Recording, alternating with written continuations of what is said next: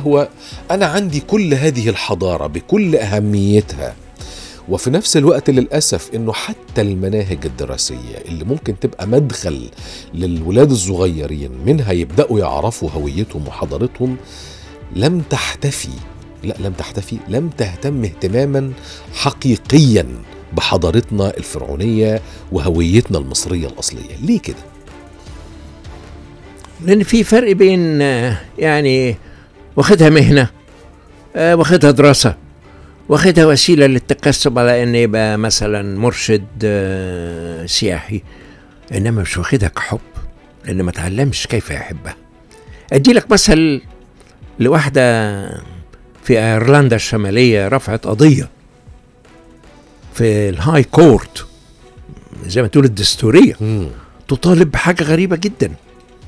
منع تداول العهد القديم.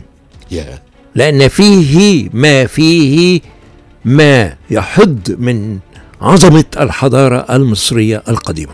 يا ده في المحكمة العليا الأيرلندية؟ المحكمة العليا في دبلن في أيرلندا. إيه ده؟ يوميها أنا كتبت مقالة قلت لها س... آخر المقالة سيدتي أنت أجنبية ولكن ولكن عروقك بها دماء مصرية. أما نحن المصريون ففي عروقنا ماء لا دماء. وحين يصبح المسؤولين عن تعليمنا وعن أثرنا وعن سياحتنا في عروقهم دماء مصرية وليست ماء لا دماء الدنيا هتتصلح كلها من الأول لآخر مم. إنما إحنا ما عندناش هذا الغيرة على هذه الحضارة العظيمة. اي واحد يتكلم كلمة قد كده عن المسيحية أو العهد القديم. أو القرآن الكريم. الدنيا تقوم من اولها لاخرها أنا عاوزكم تقوموا وتهبوا. لما واحد ينال من حضارتنا دهيا بحاجات كلها كذب في كذب من الأول للاخر ده يكفيني من سنة. كارين شوبرت عمدة برلين التي لا زالت عمدة برلين حتى الآن. طلعت بتصريح تقول كيف كان سيكون شكل العالم اليوم؟ اليوم حط تحتها خطين. وعشرة ومية كمان. لو لم تكن الحضارة المصرية القديمة أنا في أحد. كان في مؤتمر في نيويورك و كان عزمانة واحدة سيدة هي وجوزها دكتور جروس وجوزها مستر جروس وهي أستاذة في الحضارات القديمة قالت لي والله كده قالت لي بالرغم من الأمية والفقر في مصر إلى أن الحضارة تحت جلود المصريين قلت لها تقدري تديني تعريف للحضارة؟ What do you mean by civilization? قالت لي civilization كلمة جاءت من civility. وcivility كلمة اكشف عنها في القاموس هتجد قصادها مكتوب politeness الأدب. Good manners and treatment to others. رقة ال... هي الأدب ورقة التعامل مع الإنسان الآخر أو مع الآخرين.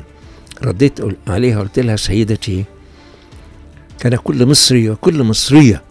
يحفظ عن ظهر قلب ما سيقوله أمام محكمة العدل الإلهية حين يسأله 42 قاضي يمثلون 42 محافظة.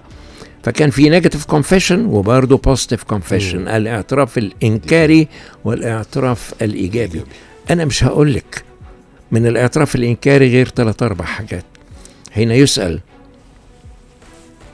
هل كنت سببا في دموع إنسان؟ لم أكن سببا في دموع إنسان. هل كنت سببا في شقاء حيوان؟ لم أكن سببا في شقاء حيوان. هل عذبت نباتا بأن نسيت أن تسقيه ماء؟ لم أعذب نباتا بأن نسيت أن أسقيه ماء. هل تعاليت على غيرك بسبب علو منصبك؟ لم أتعالى على غيري بسبب علو منصبي. هل رفعت صوتك على غيرك أثناء الحوار؟ لم أرفع صوتي على غيري أثناء الحوار. الكلام ده من خمسة آلاف سنة. وفي الاعتراف ده 42 حاجة. إنما أنا هاخدك على طول للاعتراف الإيجابي. هل كنت عينا للأعمى؟ كنت عينا للأعمى. كنت يدا للمشلول. كنت رجلا للكسيح أشيله. كنت أبا لليتيم. قلبي نقي يداي طاهرتان. ده اللي يخلي عالم المصريات ولا سباتش يقول نحن في حاجة إلى قرنين من الزمان. حتى نصل إلى هذا المستوى الرفيع من الحضارة الإنسانية. عشان نصل لخمسة آلاف سنة مضت إحنا عشان نتقدم نرجع لماضينا ونشوف كان فيه إيه كفاية قانون الأخلاق اللي موجود اللي إحنا كلنا دلوقتي بنتمنى ان إحنا نوصل صحيح. من الأول لآخر ده كان في مصر مصر علمت العالم علمته الأدب علمته العلم علمته أن هناك حياة بعد هذه الحياة علمته أن هناك جنة ونار وأن هناك صراط زي ما هو في مقبرة. رمسيس ستة آه. والجنة على اليمين والنار على الشمال. علمته كل شيء. أنا مش شايف أي حاجة جديدة دلوقتي. طيب. حتى بالنسبة للعلوم. إيه إيه إيه إيه, إيه السر يا دكتور وسيم في إنه أصبح هناك موضة وظهرت بقالها كذا سنة ولكن من واضح إنه الأزمة تفشت واستفحلت على إنكار إنه المصريين هم صناع وبنات هذه الحضارة و... وإن هناك من هبطوا من السماء ومن صعدوا إلى السماء مرة أخرى كائنات فضائية بنت الأهرامات ونحتت أبو الهول وكتبت مش عارف إيه وساعدت في هندسة المعابد إلخ إلخ كل هذا الهراء يرد على هذا هو رجل يهودي للنخاع ورجل معروف بأنه أبو علم النفس وهو سيغموند فرويد. سيغموند فرويد له كتاب اسمه موسى والتوحيد يقول لنا عقدة اليهود الأزلية هي الحضارة المصرية القديمة. طبعا رعاة غنم وقدامهم طب ما, ما حصلش قبل كده معمار شاهق حضارة يعني لغاية النهاردة الناس محتارة فيها. أما مسألة آه، كواكب أخرى وحضارة جاية من كواكب أخرى صاحب هذا الكلام آه، هو إريك فون دانيكن وهو الذي صاحب كتابين هو له سبع كتب في المواضيع دي إنما في كتابين منهم ترجمهم آه، الأستاذ أنيس منصور. آه. الكتاب الأولاني اسمه Chariot of Gods عجلات الآلهة اللي ترجمه الأستاذ أنيس الذين هبطوا من السماء. والكتاب الثاني اسمه Return to Stars عودة إلى النجوم. وأنا قريت الكتابين دول بالإنجليزية. آه ترجمهم الأستاذ أنيس آه، الذين هبط الذين عادوا إلى السماء آه.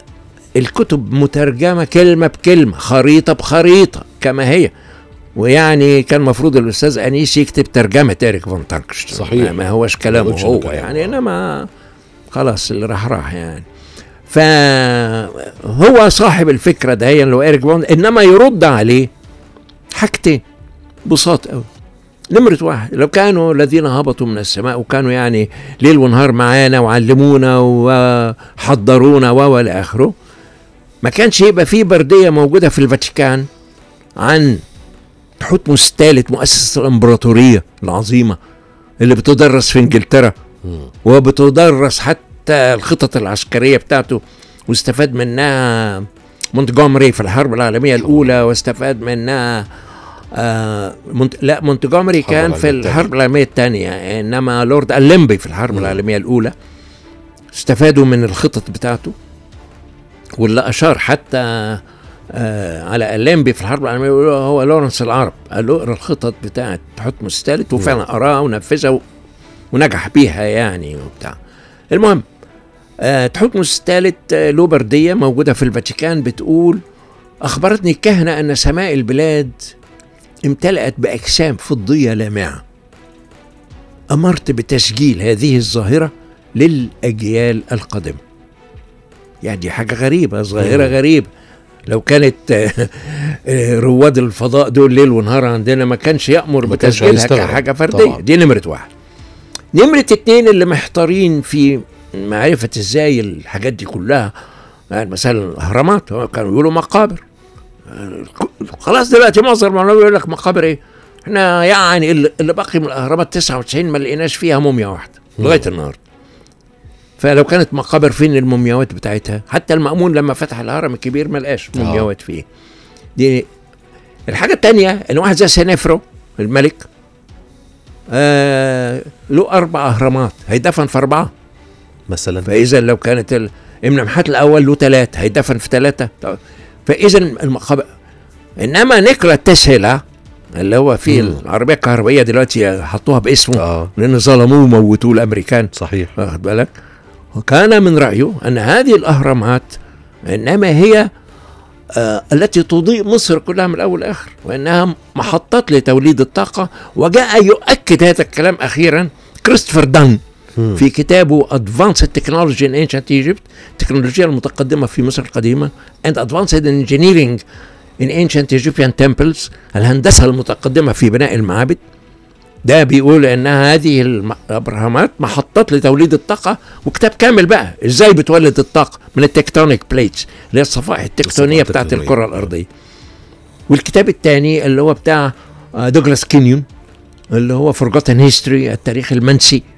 هو بيتكلم فيه برضه عن الأهرامات ما هيش مقابر ولا أي حاجة. اللي, اللي يؤكد بقى الأهرامات دي اتبنت إزاي؟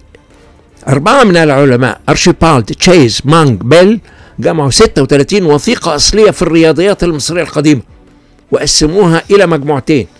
مجموعة خاصة بالهندسة الدايرة وإزاي تجيب مساحتها وإزاي تجيب نص قطرها وأعظم حاجة جابوها في قوانين الدايرة ال pi طبعا. 22 على 7 آه.